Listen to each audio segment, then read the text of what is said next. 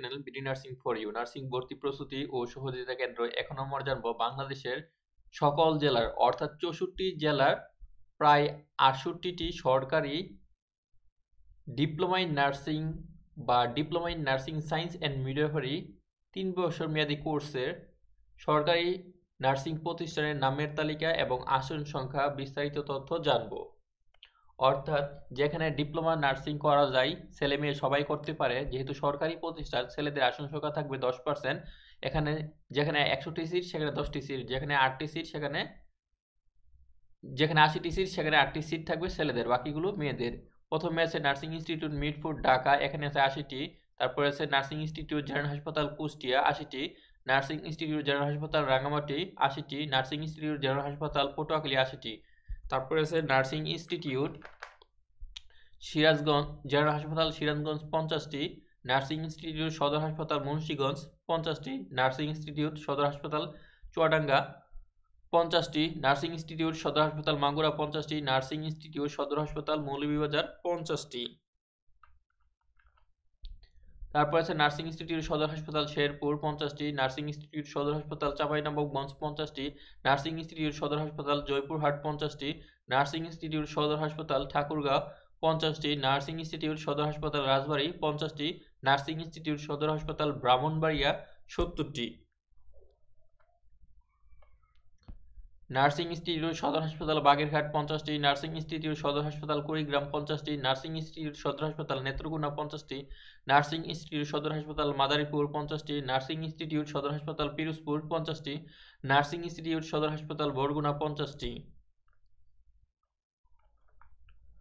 Nursing institute, সদর হাসপাতাল, নওগাঁ পঞ্চাশটি, নার্সিং ইনস্টিটিউট, সদর হাসপাতাল, পঞ্চগড় পঞ্চাশটি, নার্সিং ইনস্টিটিউট, সদর হাসপাতাল, কিশোরগঞ্জ পঞ্চাশটি নার্সিং ইনস্টিটিউট সদর হাসপাতাল জিনাইদা পঞ্চাশটি নার্সিং ইনস্টিটিউট সদর হাসপাতাল চাঁদপুর, পঞ্চাশটি।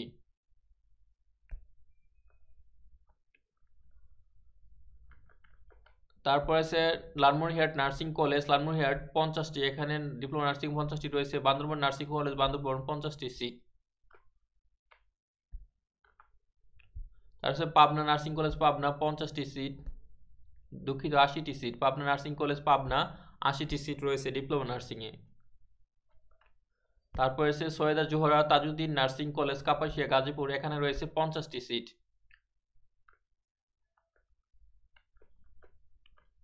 তারপর হচ্ছে নার্সিং ও মিডাভারি কলেজ কুমিল্লা, আশিটি নার্সিং ও মিডাভারি কলেজ ফরিদপুর, আশিটি নার্সিং ও মিডাভারি কলেজ খুলনা, আশিটি নার্সিং ও মিডাভারি কলেজ বগুড়া, আশিটি নার্সিং ও মিডাভারি কলেজ দিনাজপুর, আশিটি।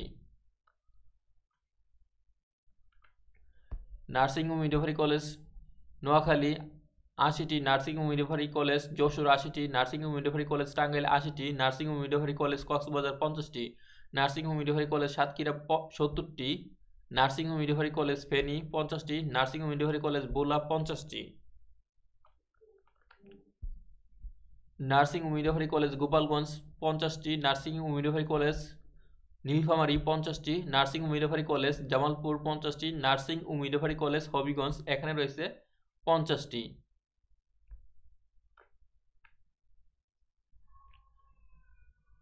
অর্থাৎ এগুলোতে ডিপ্লোমা নার্সিং সায়েন্স এ মিডোভারি কোর্স রয়েছে। এসব প্রতিষ্ঠানে ভর্তি হতে চাইলে আপনাকে ইন্টারমিডিয়েট বা এসএসসি পাস করতে হবে। এসএসসি পরীক্ষার ফলাফল প্রকাশিত হলে অন্যান্য পাবলিক বিশ্ববিদ্যালয়ের পাশাপাশি বা মেডিকেলের পাশাপাশি নার্সিং ভর্তি পরীক্ষার সার্কুলার প্রকাশিত হয়, তখন সেখানে আবেদন করতে হয়।